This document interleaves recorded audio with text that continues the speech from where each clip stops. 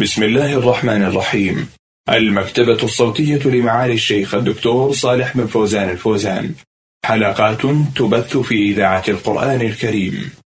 شرح كتاب زاد المستقنع في اختصار المقنع. لقاء مع فضيلة الشيخ صالح بن فوزان الفوزان. الدرس الثامن والثمانون. بسم الله الرحمن الرحيم. الحمد لله رب العالمين. وصلى الله وسلم على نبينا محمد وآله وصحبه أجمعين. مستمعين الكرام السلام عليكم ورحمة الله وبركاته. هذه حلقة جديدة في برنامج شرح زاد المستقنع في اختصار المقنع لفضيلة الشيخ صالح بن فوزان الفوزان عضو هيئة كبار العلماء وعضو اللجنة الدائمة للإفتاء. وفي مطلع هذه الحلقة نرحب بفضيلة الشيخ حياكم الله شيخ صالح. حياكم الله وبارك فيكم.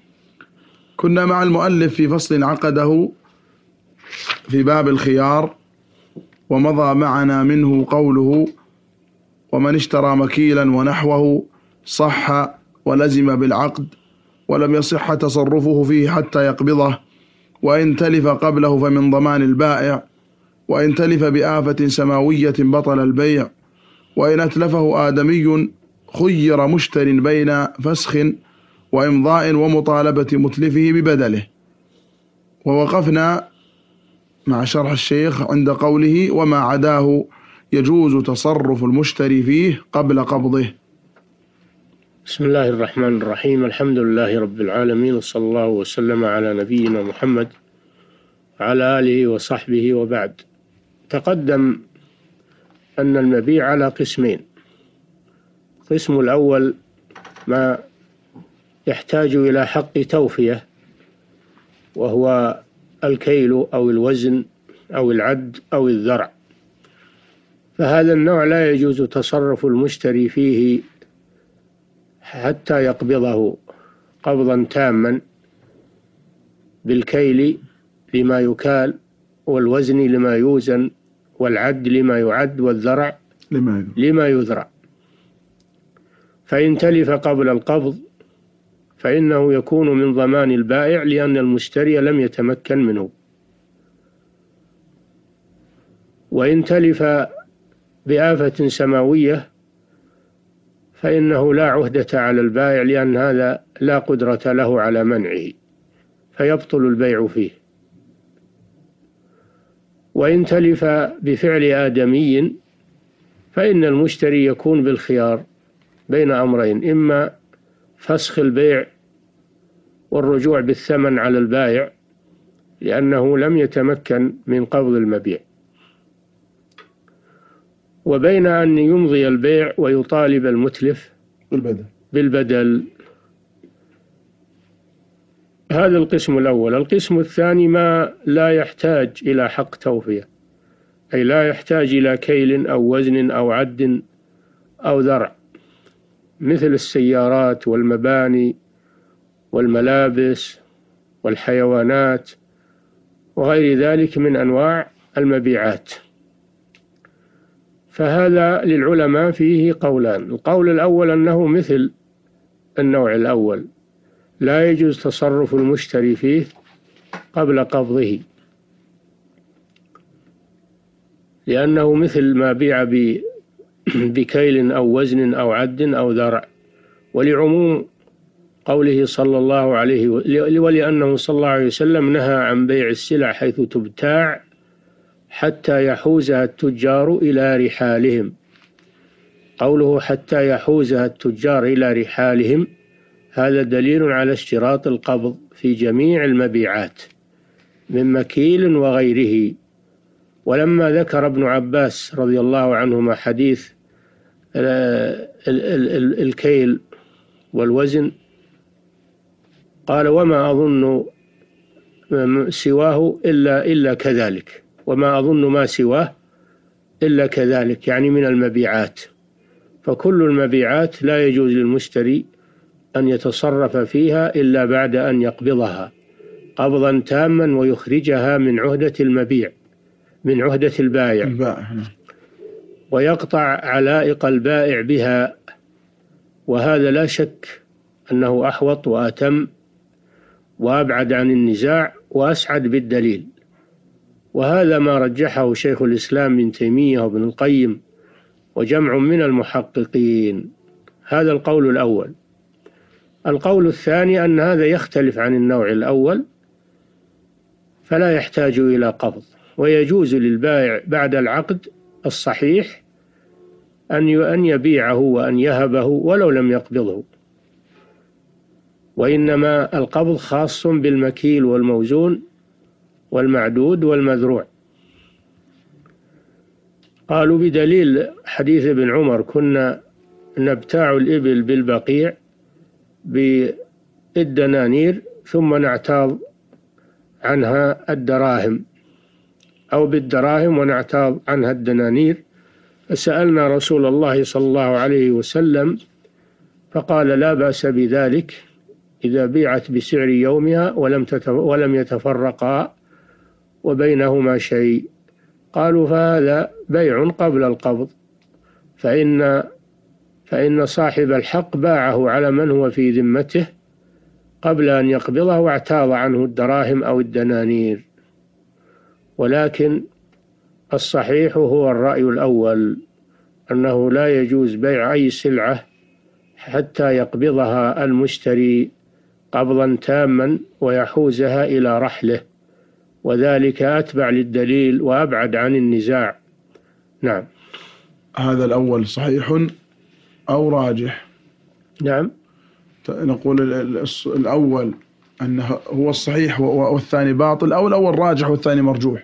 الأول هو الراجح وهو الصحيح من حيث الدليل. نعم. ثابكم الله. يقول وإن تلف ما عدا المبيع بكيل ونحوه فمن ضمانه ما لم يمنعه بائع من قبضه. هذا من ثمرة هذا القول أنه إذا لم يشترط القبض إذا لم يشترط القبض فيما عدا المكيل والموزون ونحوهما إذا لم يشترط القبض وتلف المبيع قبل قبضه فإنه يكون من ضمان المشتري. يكون من ضمان المشتري أي يتلف عليه لأنه تلف بعدما ملكه ولم يشترط القبض فهو من ضمانه. على هذا القول. هذا هو ثمرة الخلاف. إلا إذا منعه البائع من قبضه.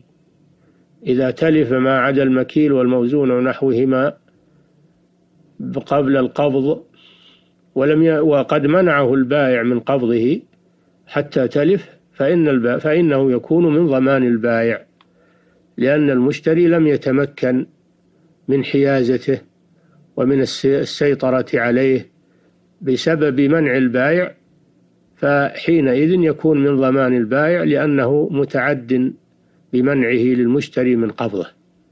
نعم. أحسن الله إليكم. قال ويحصل قبض ما بيع بكيل أو وزن أو عد أو ذرع بذلك. ما يحصل به قبض المبيع سواء اشترطنا اشترطناه قبل تصرف المشتري أو لم نشترطه. ما, ما هو الذي يحصل به القبض؟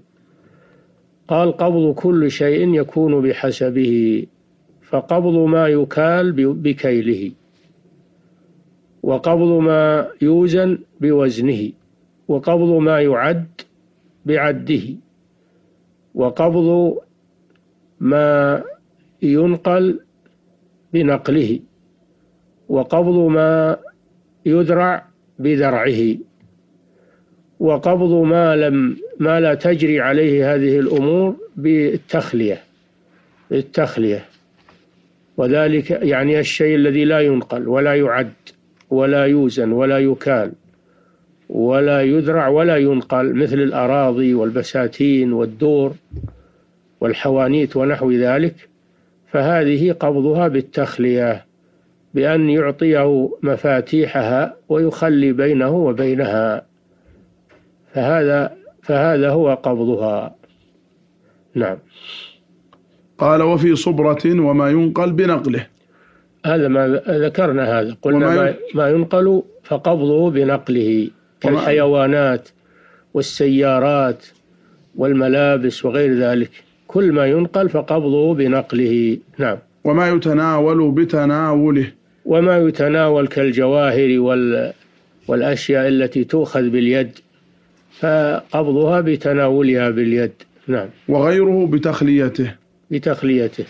غير هذه الأمور مما لا ينقل ولا يكال ولا يعد ولا يذرع ولا ينقل ولا يتناول كالأراضي والبساتين والدور فقبضها بالتخلية بأن يمكن البائع المشتري من دخولها ويعطيه مفتاحها إن كانت مما يغلق أو إن كانت أراضي بيضاء فإنه يخلي بينه وبينها.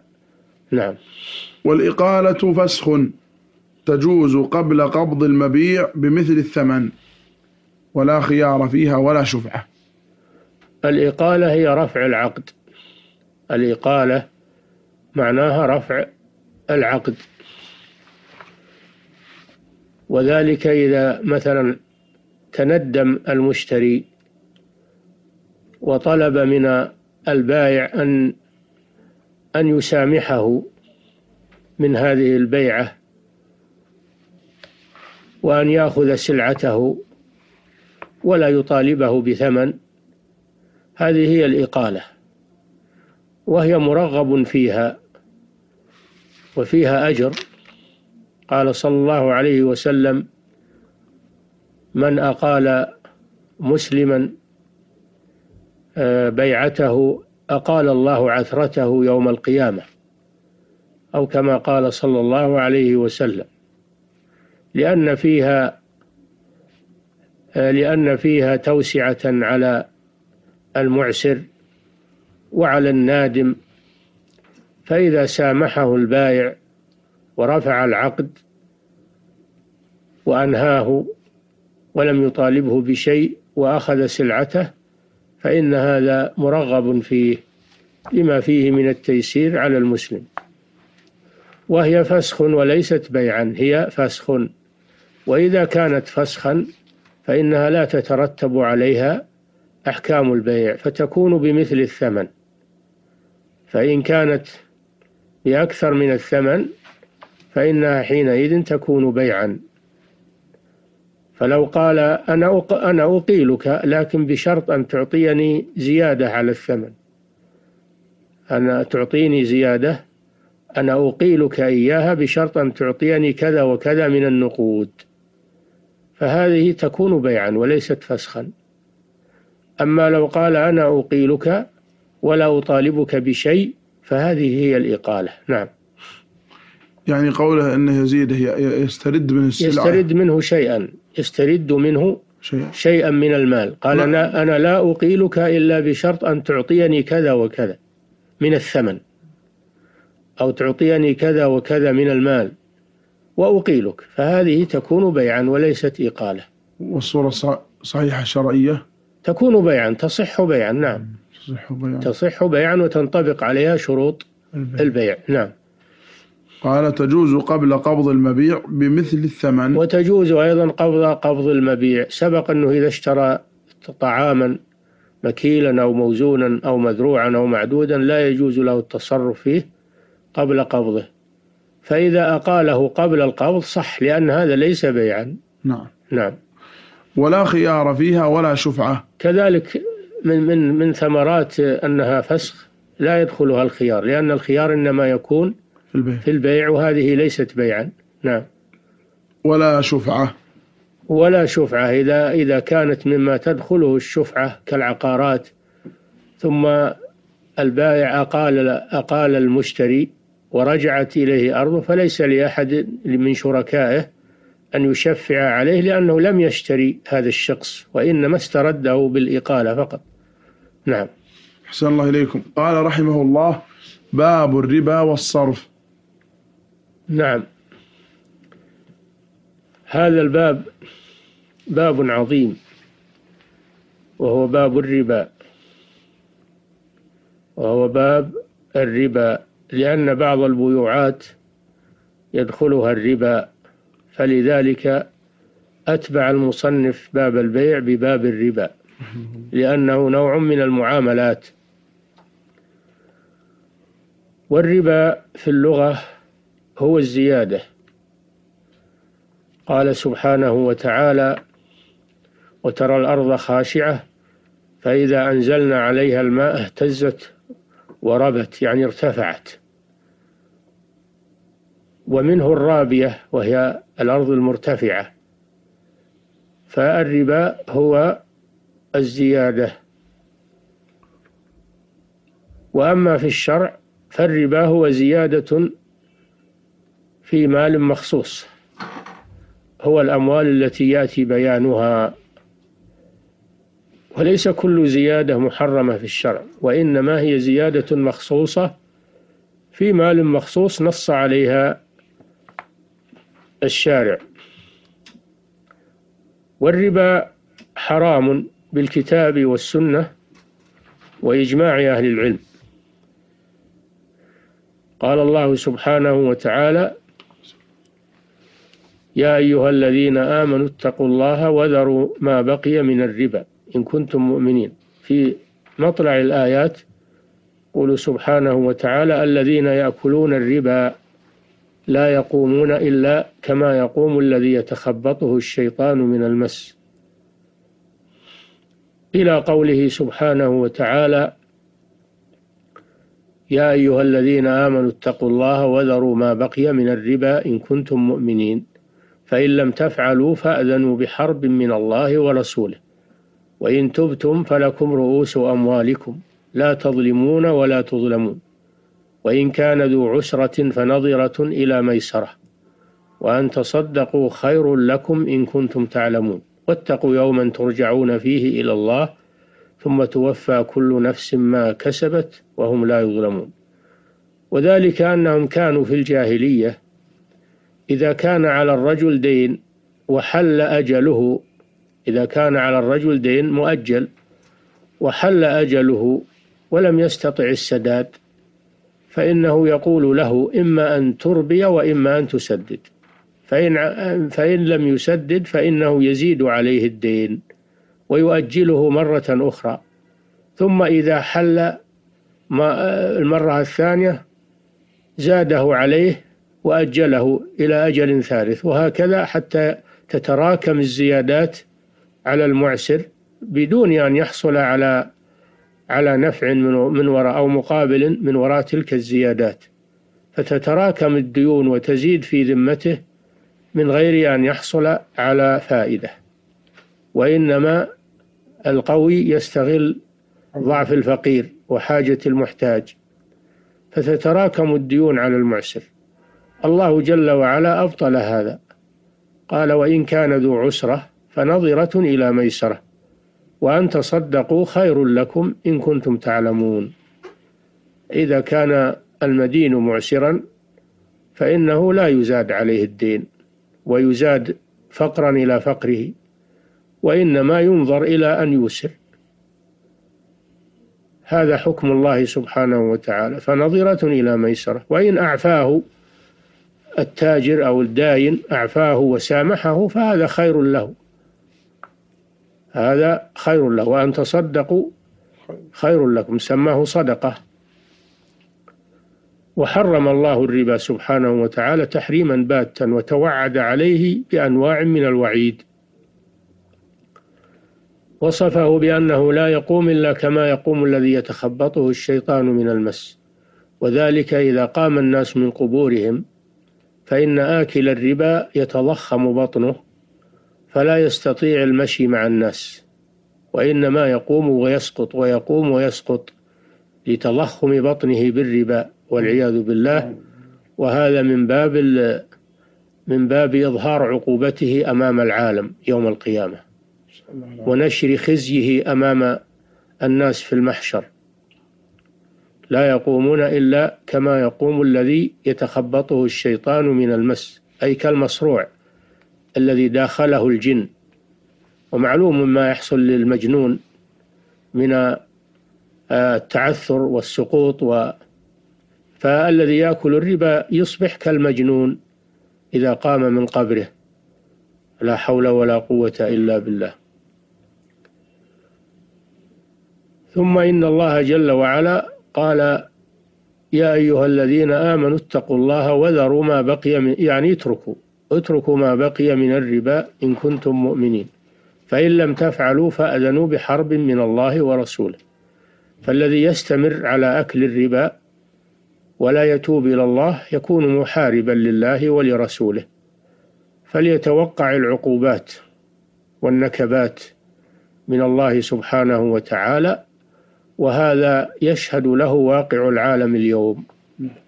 الذين استحلوا الربا واستباحوه ماذا يحل بهم من النكبات والزلازل والبراكين والحريق والإعصارات الأعاصير التي تجتاح الأموال؟ وما يحل بهم من الأمراض الوبائية المهلكة المدمرة؟ وما يحل بهم بتجاراتهم من الكساد والخسارة والديون المتراكمة. كل هذا عقوبات من الله سبحانه وتعالى. حتى عفوا يا شيخ شهد بذلك خبراء غير مسلمين نعم. أن الفوائد هي سبب البطالة والتضخم. نعم وكذلك ما كل ما حصل بالعالم من نكبات ونكسات وفقر وحاجة كله بسبب أو من أعظم أسبابه أكل الربا. نسأل الله نعم كله. والله جل وعلا قال فأذنوا بحرب من الله ورسوله. والله جل وعلا لا يخلف وعده وهو قادر على أن ينفذ ما توعد به. والواقع خير شاهد لذلك في العالم أفرادا وجماعات ومؤسسات وشركات وغير ذلك. ماذا يحل بهم من النكبات ومن الكساد ومن الديون حتى يصبحوا في السجون المظلمة آه، طيلة حياتهم أو كثيرا من حياتهم بسبب تعاطيهم للربا. نعم. أحسن الله إليكم. هذا بالكتاب وأما السنة فقد حرم النبي صلى الله عليه وسلم الربا بأحاديث كثيرة صحيحة. منها قوله صلى الله عليه وسلم لعن الله آكل الربا وموكله وشاهديه وكاتبه. قال عليه الصلاة والسلام الربا بضع وسبعون حوبا أيسرها مثل أن ينكح الرجل أمه. وإن أربى الربا استطالة المرء في عرض أخيه المسلم. وأحاديث كثيرة يأتي بيانها إن شاء الله تعالى من خلال الكلام في هذا الباب.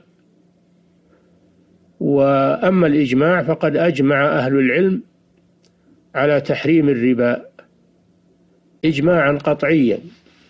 تحريم الربا إجماعا قطعيا في الجملة.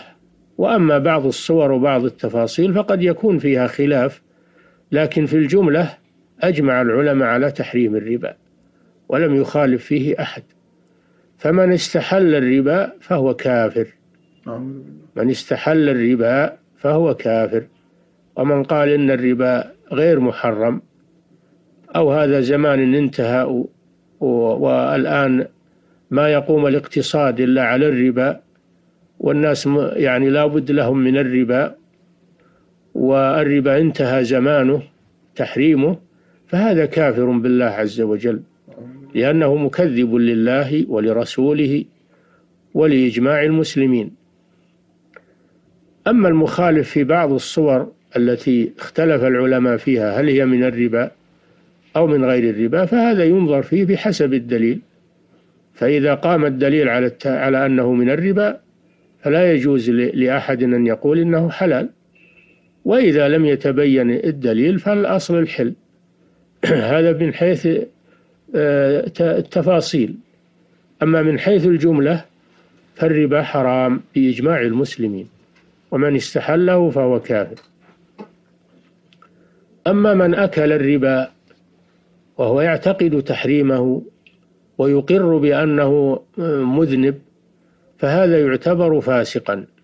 لا يكفر لكن يعتبر فاسقا من جملة أصحاب الكبائر وهو معرض للوعيد الذي ذكره الله سبحانه وتعالى ومداخل في لعنة الرسول صلى الله عليه وسلم لعن الله آكل الربا وموكله وشاهديه وكاتبه. أخبر النبي صلى الله عليه وسلم أنه في آخر الزمان يستباح الربا. قال صلى الله عليه وسلم سيأتي على الناس زمان من لم يأكل الربا ناله من غباره ففي آخر الزمان يكثر الربا ويفشو بين الناس. كما هو الواقع الآن والذي نشاهده ونسمعه من كثرة المعاملات الربوية وتساهل الناس فيها هذا مصداق لقول الرسول صلى الله عليه وسلم. ومن أعظم أنواع الربا الفاشية الآن الإقراض بالفائدة. فالذي يقرض بفائدة هذا صريح الربا. قوله صلى الله عليه وسلم كل قرض جر نفعا فهو ربا. وأجمع المسلمون على تحريم الفوائد في القروض إذا كانت مشترطة في العقد. إذا شرط عليه قال لا أقرضك إلا بزيادة. أن ترد علي أكثر مما أعطيتك أو بفائدة أو بمنفعة أي منفعة فهذا هو الربا الصريح. لأن القرض قربة وما وعقد إرفاق يقصد به إعانة المحتاج ثم يرد بدله على صاحبه. هذا هو القرض الحسن الذي هو نوع من من القربات. وأما أن يستغل القرض لأجل الفائدة فهذا هو الربا الصريح. وهذا فيه آه، إرهاق للمحتاجين. إرهاق للمحتاجين لأن الناس بحاجة إلى الاقتراض. فإذا قالوا لا نقرضكم إلا بزيادة هذا فيه إرهاق للمحتاجين وزيادة عليهم من غير فائدة ترجع عليهم. نعم. فهذا باب عظيم من أبواب الربا وهو القرض بالفائدة المشترطة عند العقد. أو إذا كان نظام المؤسسة أو المصرف أنه لا يقرض إلا بالفائدة فهذا هو الربا الصريح. ومن أنواع الربا المتفشية الآن الإيداع الإيداع بالفوائد بأن يودع أمواله عند المصارف بفائدة معلومة بفائدة معلومة على المئة خمسة ريالات أو عشرة ريالات وعلى الألف كذا وكذا. فائدة معلومة محددة هذا هو الربا. هذا هو الربا الصريح وهو الإيداع بالفائدة. وأنواع المعاملات الربوية اليوم كثيرة ولكن هاتان المسألتان من أكثر ما يقع من في المصارف وفي الشركات والمؤسسات. نعم. أحسن الله إليكم وجزاكم خيرا. مستمعينا الكرام إلى هنا ينتهي وقت هذه الحلقة. حتى نلقاكم في حلقة قادمة إن شاء الله. نستودعكم الله. هذه تحية من زميلي في هندسة الصوت خالد منور والسلام عليكم ورحمة الله وبركاته.